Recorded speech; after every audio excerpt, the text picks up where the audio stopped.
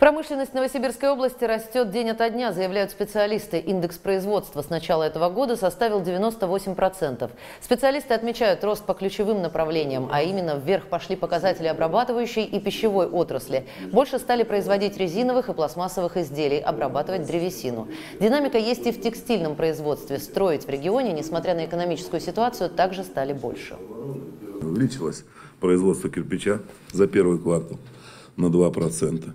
Увеличилось производство растворов, порядка, по-моему, 11%. Продолжается индивидуальное строительство, продолжается жилищное э, строительство многоквартирных жилых домов.